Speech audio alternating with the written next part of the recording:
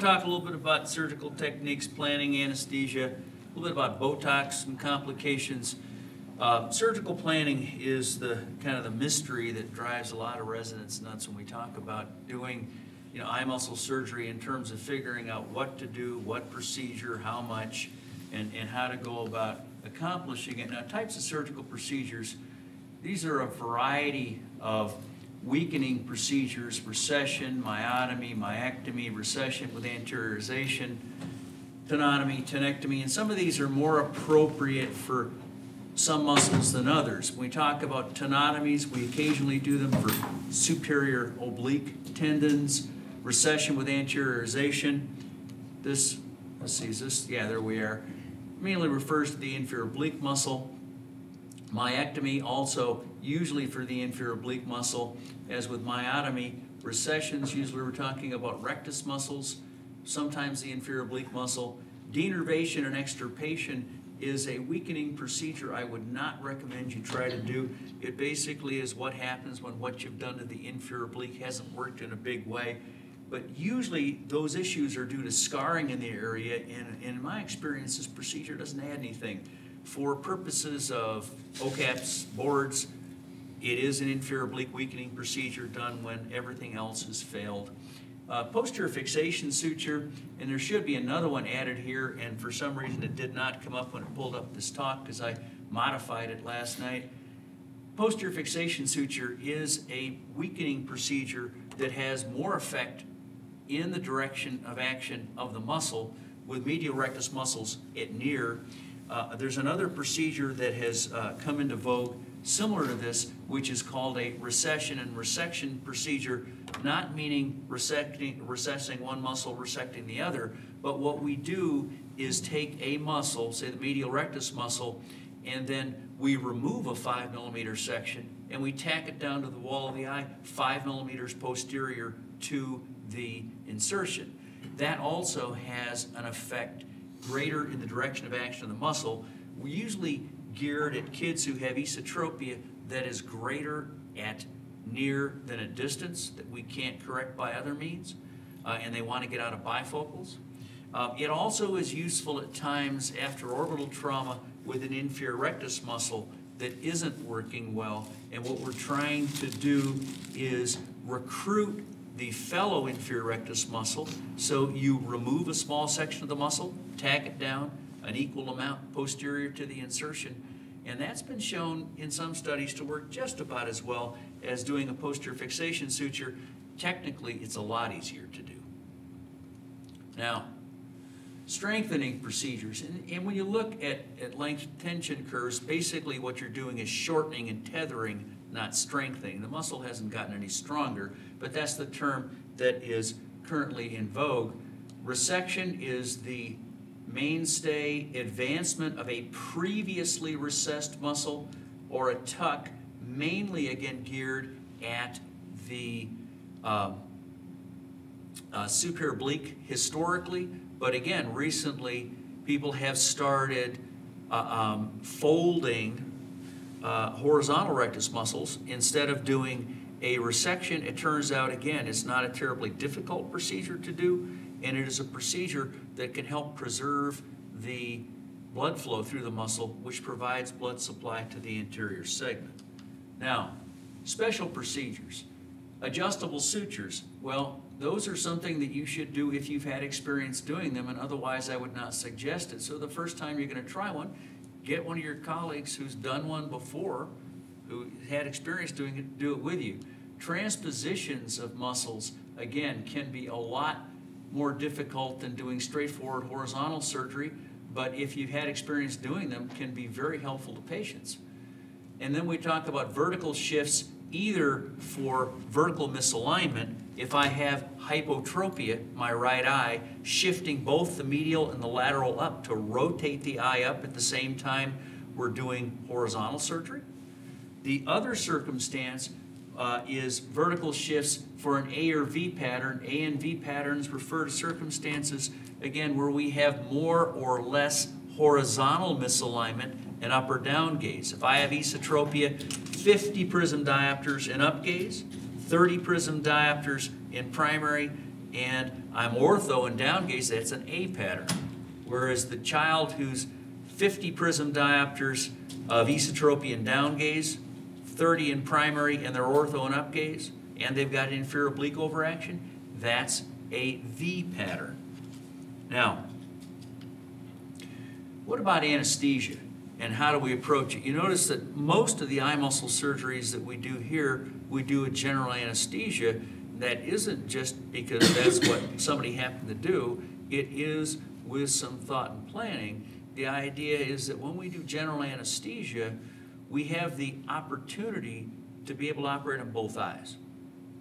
If you do a retrobulbar block, and you can in an older child or an adult very easily do eye muscle surgery with a retrobulbar block, but you're committing yourself to operating on just that eye. It is not appropriate under any circumstance to do bilateral simultaneous retrobulbar blocks. I have done retrobulbars when there was no general anesthesia available, and an eight-year-old is the youngest I've done, doing one eye in the morning and one eye in the afternoon, doing horizontal strabismus surgery to correct esotropia because both eyes were tight. The other thing you can't do if you're doing a retrobulbar on one eye is very reliably check force ductions in the operating room, which a lot of the reoperations and complicated things that we deal with here, it's very helpful to do that. So I'm a strong advocate of doing general anesthesia where it's appropriate. And for most of the patients that we operate on, that turns out to be the case. But keep in mind, you can do eye muscle surgery with a retrobulbar block. You can also do eye muscle surgery with topical, I've done it with topical anesthetic. Um, and at that point, you have to realize that what you're not going to be able to make numb with topical anesthesia is any tugging. So you have to be very gentle pulling on muscles because where those muscles attach back at the annulus is in, those muscles, that's going to be very uncomfortable if you pull on that. So you have to carefully select things. If you're doing a small recession of one muscle, you can get away with it. If you're trying to do an eight or nine millimeter resection of a muscle and you try to do it under topical anesthesia, you're going to have a very, very uncomfortable patient. Now, when we talk about general considerations, what am I trying to accomplish for the patient? And that turns out to be you know, an issue, is it possible to make the patient binocular? One of the things to ask the patient is, what bothers you about your eyes? You know, there's a big difference between I'm seeing double and my colleagues ask me when I'm, whether I'm looking at them or I'm looking over here across the room because my eyes are turned out and it's affecting how I feel about myself. Either of those, diplopia or the misalignment and the social consequences can be a perfectly reasonable reason to operate on a patient, but I think you absolutely have to be clear, patient has to be clear as well, on why we're doing what we're doing, and that may change what we're trying to accomplish. if you take a patient who has dramatically decreased vision in one eye, say I have optic nerve hypoplasia in my right eye, we want to make the eyes straight. You say, gee, you know, I think if I did a little bit on each eye, I'd probably get a better result. But because I don't want to risk the child's only good seeing eye, I'm going to limit what I'm doing to the eye with the optic nerve hypoplasia. And that is, again, something to think about ahead of time and talk to the family about. Now, what is comitance? Who can tell me what that means? having a similar deviation in all areas of gaze. That's right. And if, if the deviation is comitant, that's great. But let's say it's not. You need to have, you know, as clearly as possible in your own mind, an explanation for why it's not comitant, whether it is due to weakness of a muscle with a sixth nerve palsy, or due to tight muscle, subconjunctival tissues, conjunctiva, scarring, uh, due to previous surgery, uh, those are issues to take into account when planning surgery because ideally we would like things to be as well lined up as possible. Sometimes, on the other hand, it is the circumstance that a patient comes in and their issue is I'm seeing double when I look way over here, but when I'm looking straight ahead, everything's fine. I look down to read walk around, everything's fine. And I go out here a ways and suddenly it's double out there and doc, I want you to fix that. sometimes our obligation isn't to plan a surgery, is to tell the patient why they shouldn't have surgery, in your opinion, because you never want to sacrifice good alignment, primary position, reading position, walking around vision, going up and down stairs, for something that's happening in some very peripheral field of gaze, if that's the only thing that's going on. So part of our job may be to tell the patient that they shouldn't have surgery. Now, equality of visual acuity I touched on, and I think that, you know, if there is something that prevents an eye from seeing well, you may want to think about operating on that eye. Sometimes, on the other hand, due to restriction or other issues, cranial nerve palsies that affect the only good seeing eye, it is necessary to operate in the only good seeing eye, at which point you need to have a thorough discussion with the patient about your rationale in recommending that to them. Torsion, do things look tilted? Remember, misalignment can occur both vertically, horizontally, and torsionally, and we can deal with torsion either primarily by operating on a muscle that is usually the culprit in causing the torsional misalignment. The other things, though, that can be done is to offset other muscles. Muscles tend to want to go back where they normally sit. So if I take my right medial rectus muscle and I recess it, at the same time I shift it up, it's going to want to come back down to its normal position, so it's going to rotate my right eye in. You're going to cause some incyclotropia. Now, if you're offsetting the muscle for some other reason, it's useful to think about that and say, well, gee, is the patient going to notice if I give her some torsion? That's something to be aware of. And so you want to think about what effect you're likely to create. You can also use that information to fix torsion. Let's say the patient has had something done to an inferior oblique muscle, like a myectomy, where big piece of the muscle's gone. You can't go back and reoperate on it now. And what they've caused at the time they did that basically is some incyclotorsion. And we're going to be working on another muscle. Let's say at the same time that eye is now hypertropic, we're going to recess the inferior rectus muscle, and we've got some incyclotropia, which is what you might see with an inferior rectus paresis, which is what one creates when you chop out a large section of it. And if we take our inferior rectus muscle and we recess it, we can shift it nasally or temporally as we reattach it to affect the torsion. And again, if we want to take care of it, we want to cause an X cycle excyclorotation, what we're going to do is take that inferior rectus and transpose it temporally. And you need to think about this, and I find it useful to think about my own eyes when I'm thinking about this in terms of which way things are going to go.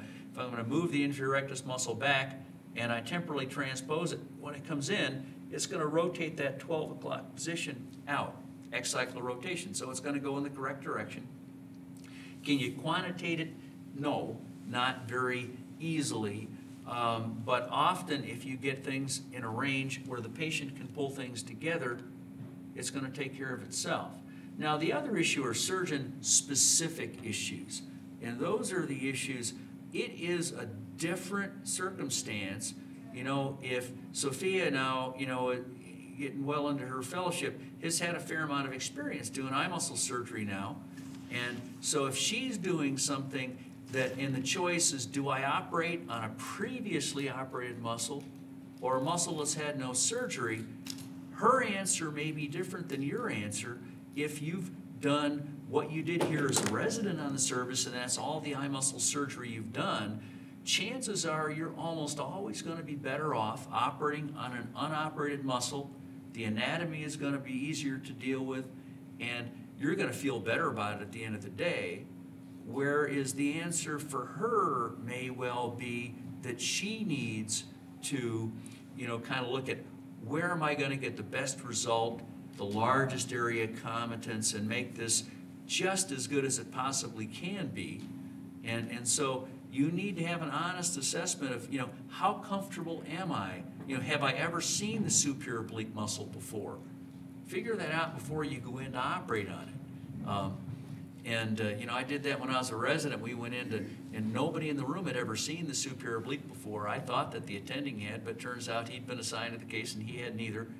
And I had my copy of Grant's Anatomy Atlas out looking uh, at a picture of where we should find the superior oblique, but it was not a pleasant experience for all involved, particularly me. So you want to think about those things ahead of time. And again, before surgery, you want to talk to the family, the patient, about what's in it for them. Is it a matter of, in an adult, getting rid of diplopia, or is it a matter of trying to give a child a decreased risk of developing amblyopia, or not having it recur after it's been treated, or to improve their chance of having normal binocularity? And then there are mitigating factors developmental delay, neurologic disease, ptosis, proptosis, developmental delay. If a child is horribly developmentally delayed and they are not interacting with their peers, they're in a self-contained classroom, fixing their exotropia in a teenager may make absolutely no difference in how people interact with them. On the other hand, in a, you know, an otherwise developmentally normal child, it may make a world of difference in terms of their ongoing self-esteem and social development. Progressive neurologic disease can sometimes be a reason not to operate, but often we go ahead and try to get things fixed so a patient can enjoy and enjoy a better quality of life. Um, but you need to understand that when you're operating on a patient who's got myasthenia gravis, who's got Parkinson's disease, things that can affect strabismus, your chance of getting the best possible outcome decreases. And that is something that you must discuss with the patient ahead of time. Now, this is an issue just to think about a little bit and realize that when we talk about weakening horizontal muscles, the eye, when we move a medial rectus muscle back, comes forward a bit. The eyes are tethered in place by those eye muscles. And so you'll create a little prop, tiny amount of proptosis by recessing a muscle. Conversely, if you resect a muscle, you're going to cause the eye to move posteriorly just a bit, a slight amount of enophthalmos. Now, if a patient has pre-existing mild ptosis, you push the eye forward just a little bit, the lid's going to come up, things are going to look better. Conversely, they've got ptosis and you do a huge resection on that medial rectus muscle, you decide to do two muscles on one eye for exotropia rather than one muscle on each eye, you're likely to cause the ptosis to look worse. Not that you've directly caused it, but those are things you want to think about to say, are there unintended consequences that I can mitigate by planning to do this surgery? That can be complicated, but it is something you need to think about the other one you never want to forget if you do vertical muscle surgeries to talk to a patient about ahead of time is the effect of vertical muscle recession, usually recession more than resection, on, on the uh, lid position. If you do a successful inferior rectus recession for thyroid disease, even when you try to separate all the attachments between the inferior rectus and the lower eyelid retractors, you know, with Lockwood's ligament, what you wind up doing is causing the lid to come down a bit. And so when we do that for patients with thyroid disease, we have a discussion ahead of time about the likelihood of precipitating the need for some eyelid surgery so that they don't have dramatic increase in their exposure symptoms because they're usually all already proptotic and we're making that situation worse as well. Um, the other is with superior rectus recessions. And when you do superior rectus recessions in kids, most commonly done for dissociated vertical deviation, where you don't have associated inferior oblique overaction. When you do a six or eight millimeter recession of a superior rectus muscle, they always have this really wide-eyed look for a few weeks, sometimes two or three months. It usually settles down where it can be a problem is if you do very, very asymmetric surgery. So think about it particularly if you're doing a unilateral superior rectus recession. Again, you want to consider how you're going to create problems before you do. Patients are always much more appreciative and they think you're smarter if you say, I think I may cause this problem when I do your surgery, instead of walking in the room for that first post-op visit saying, gosh, I've never seen that before. That's a, that's a new one on me. People don't like that. Now, what about the issue of cosmetic eye muscle surgery? I'm a strong fan of the, the concept that there is no such thing as cosmetic eye muscle surgery. Cosmetic surgery is when you take something that looks perfectly acceptable and you make it look prettier because it meets some social standard. Correction of a deformity is when you take something that is not the way that it's supposed to be and you make it more like it's supposed to be. And that is where almost all eye muscle surgery that people sometimes call cosmetic really fits, correction of a deformity. There is a significant body of evidence now that both children and adults with strabismus do better in terms of opportunities for playmates, school, you know, positions, uh, jobs, advancement, relationships, if their eyes are straight. Um, Evelyn Paysse, is a colleague of mine at Baylor, took a, a series of digital photo, uh, photographs and altered them. And both kids and adults. With the kids, she, they were, I believe they were five-year-olds, made them ET or XT, and then showed the kid with straight eyes, the kid with misaligned eyes to preschoolers and said, who would you like to play with? They picked the kid with straight eyes every time.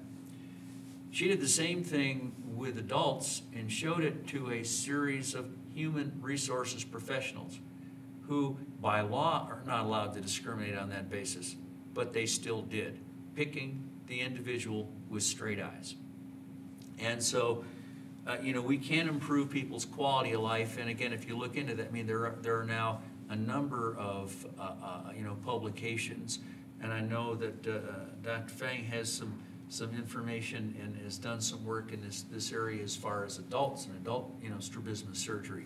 And I think that, uh, you know, it's something to consider. It is something to consider as well when you're getting informed consent. Informed consent is different, as you're hopefully all aware, than having a patient sign a piece of paper saying, I'm gonna have eye muscle surgery on one or both eyes. It means that you've talked to them about the diagnosis, the options for treatment. If you're talking about surgery, what options are there to consider? What are the pluses, minuses? How might you get them into trouble? And the likely outcome of the surgery, possible need for additional surgery. How it's gonna affect their life, both short-term and long-term. And I talked to them at the same time about the, you know, post-op care restrictions of activities and for follow-up. Now, with some surgeries, this turns out to be more important, not with eye muscle surgery, but when we see an infant with a cataract.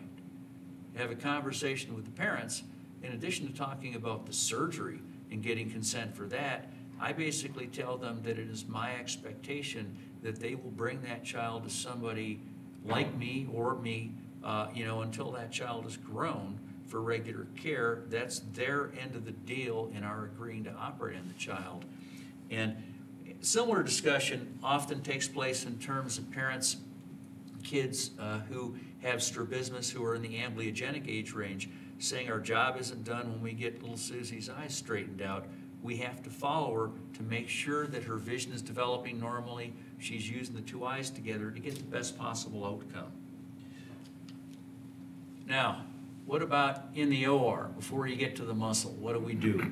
This is one of the only things that's been shown to actually have any effect. Sherwin Isenberg published some uh, very interesting information. Uh, it came from a pediatric ophthalmologist looking at number of species and colony forming units after putting in two and a half percent povidone iodine, you know, in the eye prior to surgery, and found that that was the single thing that actually appeared to have a dramatic effect on that. So iodine, povidone iodine does matter, and I'd urge you to put it in before surgery. I usually use traction sutures. Conjunctival incisions, you will see with either myself or my colleagues here, uh, you know, a variety of conjunctival incisions approaches to get to muscles. The two common variants are either a limbal incision or a fornix incision. They have their pluses and minuses. With a limbal incision, you can more easily deal with scarring. It's easier to do reoperations. On the other hand, with a fornix incision, the advantage is the incision is a bit hidden out of the way. There is less obvious redness, irritation, and misery right after surgery. Uh, And for some muscles, they're more appropriate than others, but you'll see both here if, for those of you who have not been on our service already. Now, surgeon positioning, lighting, and magnification, you need to think about, and as you're going through this in your rotations as a resident, look at where the attending's sitting, doing things a certain way, where they have the assistant sitting. You want to get that in your own mind as far as how you want to organize things when you're out and you're trying to do your first eye muscle operation, saying, well, where do I want to sit and all that? And like a lot of things in sports and other things, if you kind of visualize yourself doing things and go through in your own mind the steps in the surgery and kind of see it from that surgeon's perspective, I think that's very helpful. As far as lighting and magnification, all of you hopefully have loupes that you can use for eye muscle surgery. Um, I think that if you go in other parts of the world, you'll see an awful lot of eye muscle surgery, horizontal surgery, done through an operating microscope. And you can do horizontal eye muscle surgery well through an operating microscope. It is very difficult to do vertical surgery, to do obliques, and I think you can position your head better using loupes and I'm a strong advocate of using these battery-powered headlights. I think they're absolutely wonderful to get good visualization right where you need to see from your perspective, and it always moves with you. Uh, but if you're, you know, trying to use the microscope, there are some people, the predominant, I think, uh, advocate here in the U.S. is a guy named John Simon, who's a pediatric ophthalmologist at one of the State University of New York uh, programs in Albany. And John has been using the microscope, feels strongly it's the only way to do eye muscle surgery. So it, it's good there's some disparity, it causes, uh, you know, good discussion. But I've actually switched people from using the microscope to using loupes in a lot of the programs I work with internationally if they're going to go beyond doing just straightforward horizontal muscles. You know, the advantage is they don't need additional equipment when they use the microscope, and they can do it in the same flow of patients when they are doing anterior segment surgery. So it works for them in that regard. Now, if we go through, you, and these tables are in your books, but basically you can look up numbers that will give you information about how much to recess a medial and resect a lateral for a given amount of esotropia. These are Marshall Parks' original numbers, and these are from my mentor, the folks I train with, uh, Gene Helveston and Gerald Ellis. These are measurements of the amount of recession and resection, and this would be like a bimedial recession of four for 25 prism diopters, whereas these measurements are from the limbus. So this is, you recess the medial to eight and a half millimeters from the limbus, under a year of age, nine, over a year of age, nine and a half and ten and a half. So it's kind of a small, medium, and large approach to eye muscle surgery. It seems to work pretty darn well. Now, Hiram Hardesty is a guy who followed a whole series of intermittent exotropia patients for many years, and these are his uh, numbers uh, that he derived looking at a very large, extended data pool that I think was over about 25 years. Um, and this, Dr. Parks' numbers for the same things, and these, I think, this is being recorded so you can, you know, have these to use, and use these when you start out, and then what you need to do is look at how your results vary from these, because as you go from one attending to another here, you'll see different ways of placing suture, different ways of doing resections, and so these numbers are only a rough guide because people's technique differs. You need to do whatever technique you're going to do reproducibly and then decide how it's working for you. When it comes to A and V patterns, again, you can decrease the amount of exotropia in upgaze with bilateral inferior oblique weakening. Shouldn't be any change in primary position, but you will see a bit of an ESO shift if you're doing bilateral superior oblique tenotomies for an A pattern exotropia. Vertical surgery, you can decrease the vertical, the ipsilateral hypertropia by about 10 to 15 prism diopters in primary position, up to 25 prism diopters in the field of action, meaning the gaze down and in towards the nose, the involved ipsilateral superior oblique, if we're going to tuck that. So uh, gaze, if my right superior oblique is involved, that would be that gaze down and left. You can get up to 25 prism diopters of correction. That's a very powerful procedure, um, something you don't want to take lightly. And you can vary the amount of inferior superior rectus recession that you do, uh, you know, to get at most probably 15 prism diopters. If you're talking about a situation that doesn't involve restriction, if you put restriction in there, like a tight inferior rectus in a thyroid patient, then those numbers go out the window because the restriction itself is causing a significant amount of that misalignment. And again, with exotropia, doing a recess resect procedure, these are again are Dr. Parks's numbers. And then complications to touch on this stuff, and then I want to look at some patient examples. The um, alignment issues, most common problem after eye muscle surgery is that we didn't accomplish what we set out to do, and there's still enough uh, misalignment to either be noticeable to the patient or to cause diplopia.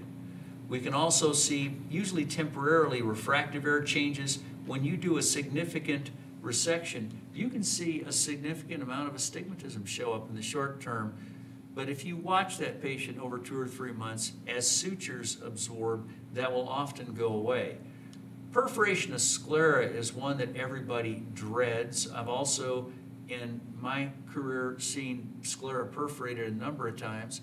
I have seen large sections of sclera excised with someone pulling up firmly on a muscle while pushing down with scissors, trying to disinsert the muscle. That always is a, a major, oh gosh, I wish I didn't do that, and lots of bad words are said. And, and then um, you put in a scleral patch graft and do what you were going to do with the muscle. Uh, and I've never seen anyone lose an eye from either perforating sclera or removing part of the wall of the eye, but it does require some reconstructive work uh, uh, with the uh, um, sclera removed. And um, if you were, we were in the operating room right now, and I were making a pass, and suddenly things seem to lighten up, and the needle jumped forward, and it's kind of heading for the middle of the vitreous. What would you do? Any ideas? I mean, besides saying, gosh, I wish I hadn't just done that. And uh, you'd probably tell me you wish I'd been aiming the needle not towards the vitreous and keeping the needle flat on the globe like I kind of hound some of you folks to do. Um, well, if, I mean, the needle can go a variety of places, right? It still could be intrascleral, but not likely. It could be in the suprachoroidal space, at which point you probably not cause any problems. But let's say you've gone, you look at it for a second, and you're trying to decide, did I really just do that? And you kind of push gently on the area, and you see some clear, kind of gooey stuff come out through there. Looks like you got a little bit of vitreous. If you've got vitreous coming out the wound, what does that tell you? You know you went through retina, okay? I mean, that's how the vitreous is coming out through that hole. And so, then what do we do? Any ideas? We've got a hole in the retina, and a Some patient's laser. asleep in the operating room. Do some laser cryo. Yeah, so first thing you do is you get some dilating drops in that eye, and you get the indirect ophthalmoscope, and you take a look and you see where, where it is and what's going on. And if you, laser works very well to laser around the hole that you've just created, like any, you know, retinal tear. You can call, the elegant solution is to get one of your retina colleagues to come take a look and help you out with it. Um, I've been in the circumstance where that's happened in my OR, and we haven't had a retina person available. They're all off doing various things, and uh, and so you also can use a cryo machine if it's something very peripheral and you can't get to it with laser. Don't go hog wild with the cryo. When you start um, cryoing and you're nervous because you're worried you're going to create a retinal detachment, you can actually cause retina to be distorted and cause problems with too much cryo. So don't be over aggressive with the cryo. But I think from my perspective, if you think there has been a deep pass or perforation, you are obligated to take a look personally in the back of the eye. You don't close up and say, I want you to see my retina colleagues next week. Um, you take a look back there right there and then. And then when we've had something like that happen, what else should happen as a result? Let's say there is a hole, you need the laser, you need to cryo, you have to disclose that to the family or the parents. You have to have a discussion with them. The other part of it is to let your leadership and risk management know about it. because they want to be involved to try to help the, the patient and, I mean, their own selfish interests, and the hospital's selfish interests are at heart too, and that they want to minimize the chance that somebody is going to take legal action. And if someone's been harmed by something that we've done, they want to help them get it taken care of so that that isn't something that's necessary for the patient to consider. Now, what about infections?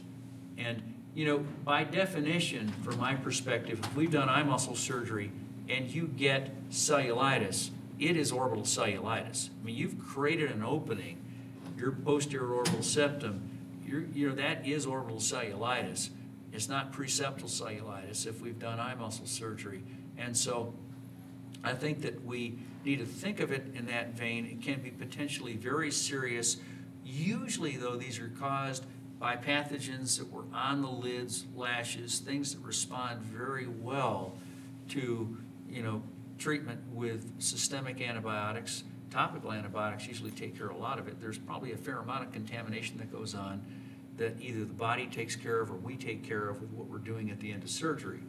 What about intraocular infection? Anybody seen endophthalmitis after eye muscle surgery? That'd probably be the only case you'll ever see if you've seen one, because it is an incredibly rare occurrence. But in a patient who has dramatically increased pain, decreased vision, after eye muscle surgery, you need to consider that and you have to look and you need to have a high index of suspicion because early treatment is uh, the thing that's most associated with a good outcome. You know, the type of bug that's in there obviously is a big deal as well. Now, suture granulomas. We use absorbable suture.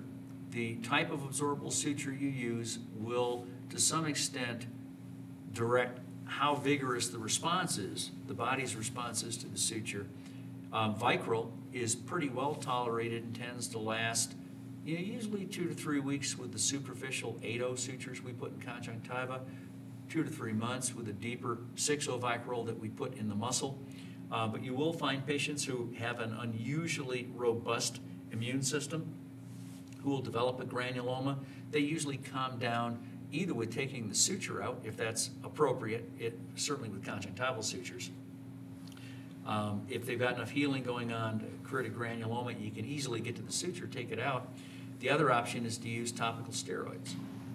Conjunctival cysts occur when you have tissue that should be making fluid and dumping it onto the surface of the conjunctiva, become buried, and what they're making goes beneath the conjunctiva most of those conjunctival cysts will open up and go away all on their own if you watch them. Don't let the patient try to pop them with a pin. I have had people try to do that. It is not a good thing. Patient jumps and the needle winds up someplace it's not supposed to be. Um, but you can also go back and if it isn't going away, if it is causing symptoms, and very easily just reopen your conjunctival wound, lift that up, clean out as much of the cyst, cyst wall as you can, and they almost always do well. I've never had one recur. Scarring is best dealt with by not creating it, by treating tissues nicely, by staying out of the fat, by trying to minimize bleeding. Sometimes it is not possible either in trauma or with previous surgery to get around that. So I we irrigate steroid, you know, at the end of surgery uh, in the operative area. It is also for some patients appropriate to put them on topical, uh, uh, you know, immunosuppressive medication, usually steroids, uh, to try to decrease inflammation after surgery. And um, restricted motility after surgery can be uh, um, in the short term either because there's something tight like conjunctiva or uh, an overly resected muscle limiting movement. The thing you worry about when things progressively become more misaligned and limited with movement is fat adherence. If you get into orbital fat and it is adherent to the globe, it is going to limit movement of the eye, and that is very difficult to rectify. Numerous approaches have been tried, none of them are perfect or everyone would be doing it. So again, the main take home from that is to avoid getting into the fat. We talked before a little bit about eyelid position. What about slipped and lost muscles? Anybody here been involved in looking for a slipped or a lost muscle ever? You know, if you do enough eye muscle surgery, you will be, and I get called often if one of my colleagues has an issue with something like that. Um, often, you know, the call is something like, drop whatever you're doing and come to the operating room right now, I need your help.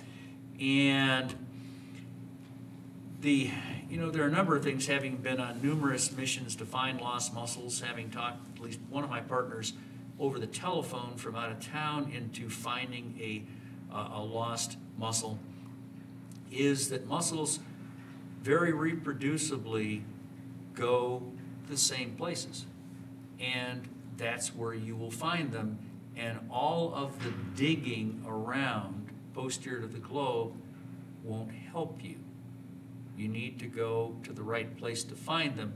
Typically, horizontal rectus muscles, and it's the medial that's most commonly lost, go through the sleeve and posterior Tenon's that the muscle exits to before it comes up with the globe as it comes anteriorly.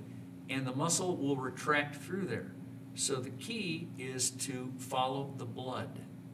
If this occurred acutely and you find the blood, you take a non-tooth forceps, close it, reach through that opening in Tenon's, open the forceps, go a little farther, close, and you'll pull the muscle out just like pulling a rabbit out of a hat. And everybody will think you're a hero. It works. And if you're stuck and you're in that situation, remember this conversation and call me and I'll talk you through doing it.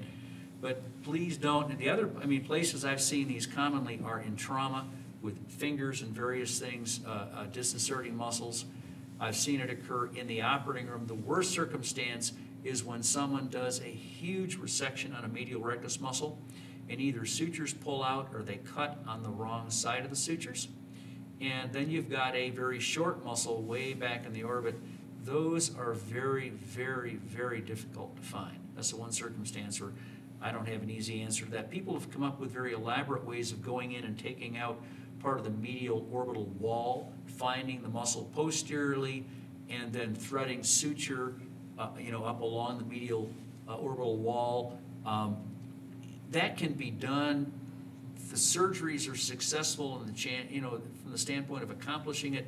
Does it ever give relatively normal motility again? I've not seen that part of it work out quite as well as the end of surgery videos showing suture attached to a muscle being attached to something on the globe. I mean, that part of it they can do, but it, it isn't a good, good outcome. Um, so be careful when you put sutures in. You want the muscle to be sutured securely every time. That keeps it from slipping posteriorly in its sheath. And uh, uh, again, if just, you know, be alert in the operating room, and if you think something is happening with a muscle, thing to do is to grab the muscle with a forceps while you're sorting out what to do if suture's actively pulling out.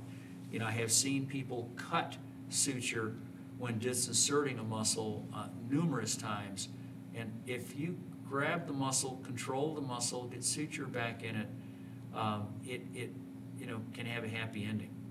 So you just want to be alert, be aware of what's going on. Now, what about the ocular cardiac reflex?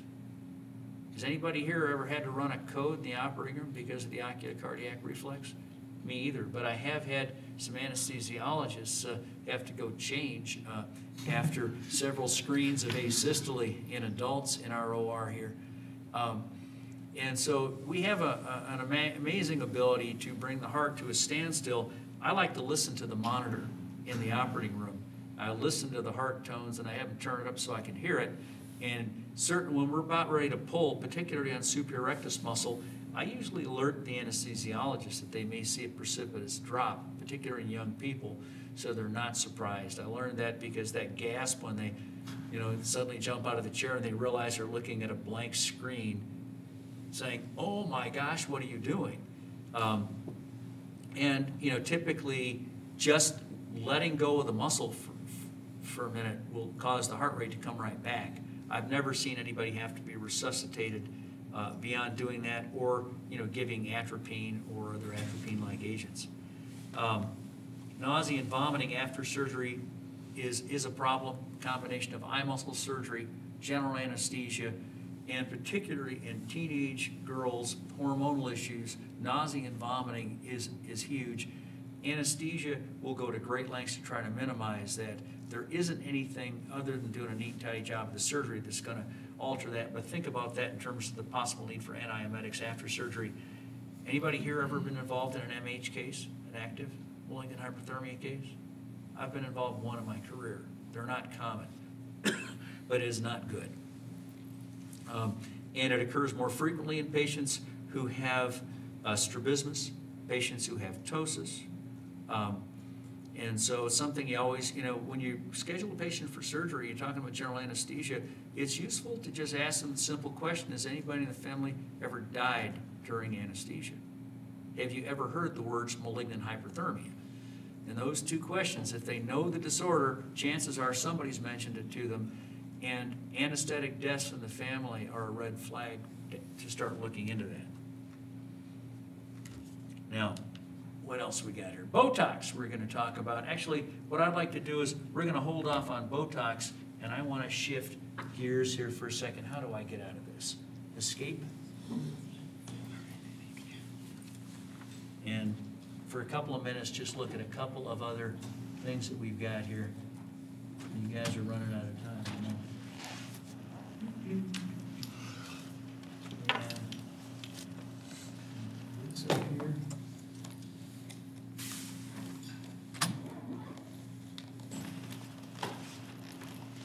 All right, now, let's see if this works again. There we go.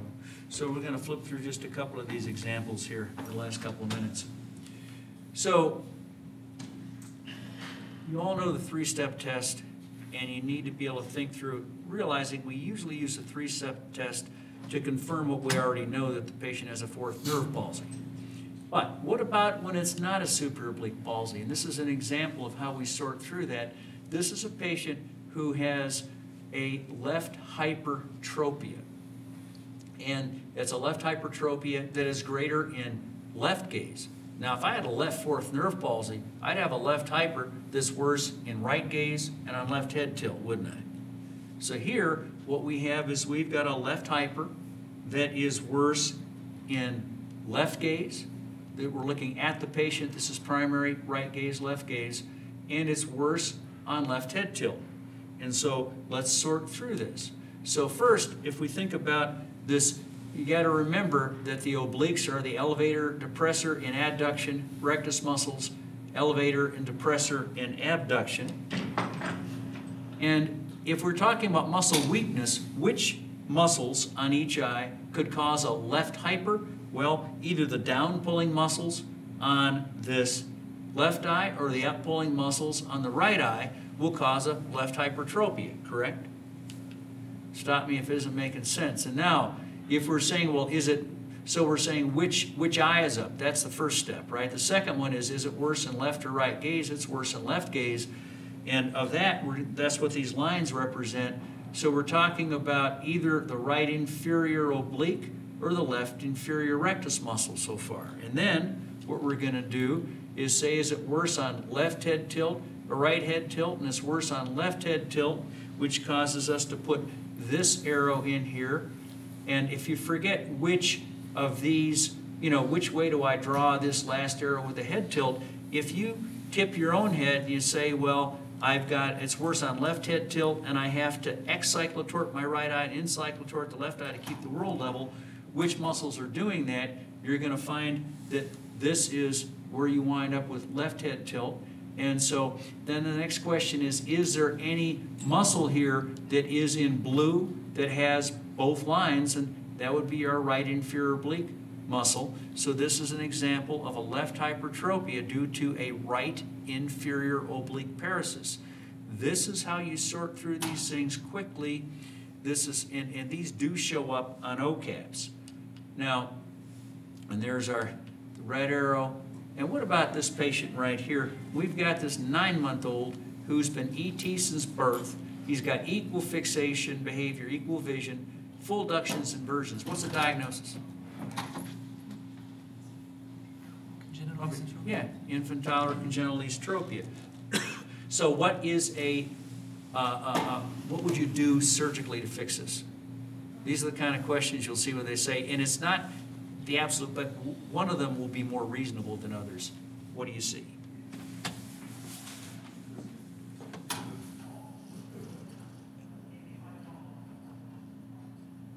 Give me it, let's make it multiple choice. Superior oblique tuck bilateral. No. Recess lateral rectus muscles, OU. No. Recess medial rectus muscle, OU. Yeah, is that reasonable? You recess the medial rectus muscles, that's gonna decrease the esotropia, wind up with straighter eyes, and that would probably be what they would come up with. You also, I mean, if they had, you could do a recession of one medial, resection of the lateral, and the way they try to trick you into this on the tests are to say, well, you know, and, and do a recess resect in the wrong direction for esotropia, and throw that in there just to make life interesting. And then now what we've thrown in here is a V pattern. We've got more esotropian down gaze, less an up gaze. And so let's say we're still going to recess the medial rectus muscles, but the OKAP question would be which way do you shift those muscles? Down, correct. And towards the apex of the V or the A with the medials, the opposite for the laterals, worth remembering. And then if we have the same patient, but the patient has this right hyper and left gaze, left hyper and right gaze because of this inferior oblique overaction. And so we've got a V pattern with inferior oblique overaction. And the message here is when you've got inferior oblique overaction with a V pattern, you're going to weaken the inferior obliques. That'll decrease that hyper and lateral gaze. It'll also collapse the pattern, and you still operate for the primary position measurements. So you're going to do medial rectus recession both eyes, inferior oblique recession both eyes. And then, just, uh, and we'll close with this because you guys need to get to where you're going. We've got constant left esotropia, optic nerve hypoplasia, strong prefer- preference for fixation with the right eye, and you got 45 prism diopters of left esotropia, distance and near. The parents want the eyes straightened out. At nine months of age, what procedure would you do?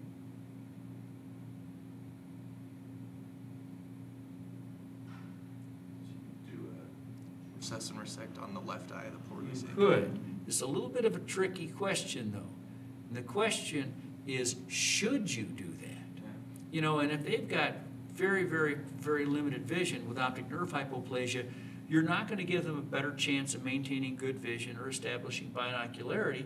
So the better thing is to just, um, you know, not operate and try to stall them as long as you can. But if you're, if they're just, they want it done and grandma's beating the door down, wanting to get the kid's eyes straightened out, um, that is what you, you do a recess, resect procedure on that eye. Recess the medial, resect the lateral. So And- ideally, would you do it before they started school? I would do it before they start school, and usually the summer before they start kindergarten is a good time to do it. That's about the age where kids really start to get picked on. And that's what I tell the parents.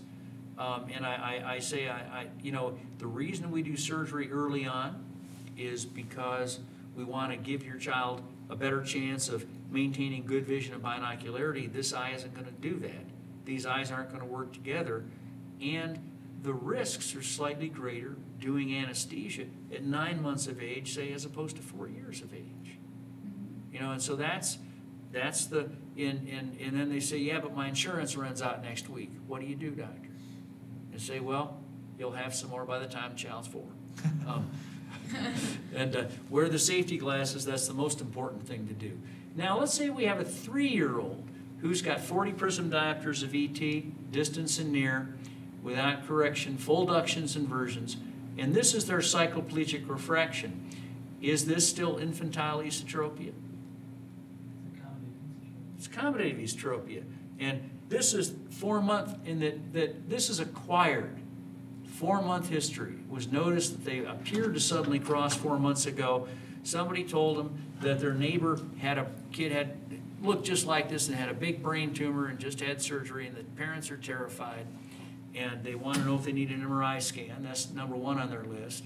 And is the child going to die? Um, and both of the answers to those are no, at least not from this. And Then the issue is, what do we do with this child?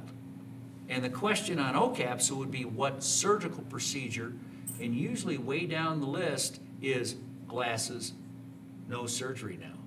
And that is absolutely what you must do with this child. There are some people who have questionable ethics who operate on kids in this circumstance rather than putting them in glasses. Why? Well, it's because they have a car payment or a boat payment or something else to do, not because it is in the patient's best interest. So in closing, if you think about these things from the standpoint of how is what I'm thinking about doing gonna help the patient, and is that the best thing to be doing for the patient? Make sense? Cool. Have a good day.